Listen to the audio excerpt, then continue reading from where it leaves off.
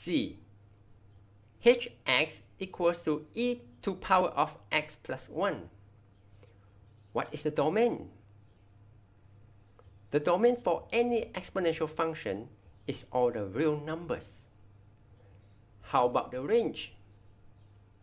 What is the constant here? The constant here is 0. Is this a positive y function? Yes, it is. Therefore, the range is from 0 to positive infinity. What's the horizontal asymptote? You are right. The horizontal asymptote is y equals to 0. What's the y-intercept? Add in x equals to 0 to the function.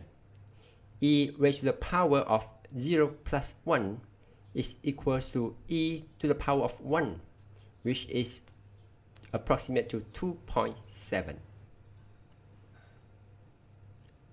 We have positive x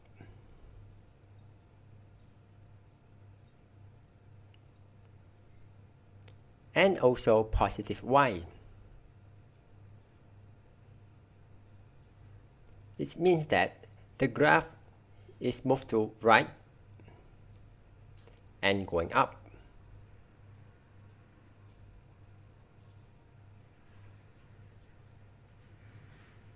The curve is travels towards first quadrant.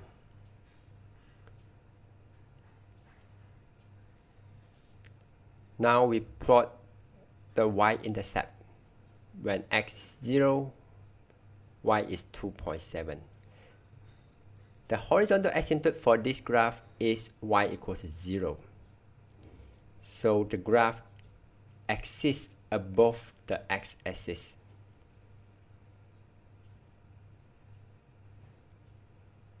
Label the graph as hx.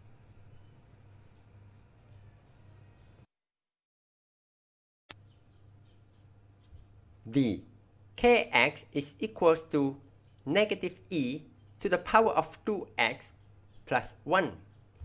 I will guide you step by step to find its domain and range. First of all, the domain of all exponential functions is, please fill in the blank. What's the constant here? Fill in the blank. It is a positive y or negative y function. Circle the correct answer. So, the range is from, fill in the blank. What's the horizontal asymptote? The horizontal asymptote is, last one, what's the y-intercept?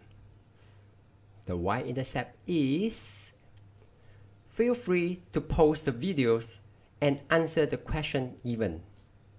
After that, we can proceed to sketch the graph.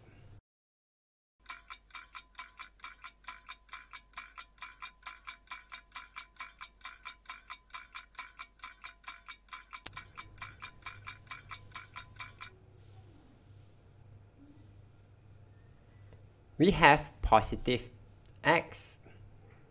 The graph is moving to right.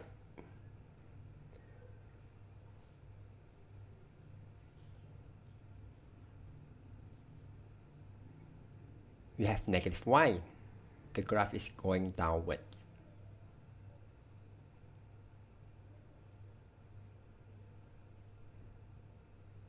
So the curve is travel towards the fourth quadrant.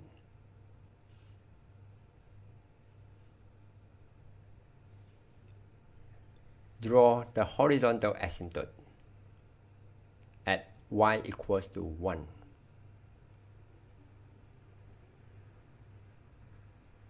Then plot the y-intercept 0, 0. Draw a curve below y equals to 1 and extend to negative infinity. Label the graph as function kx.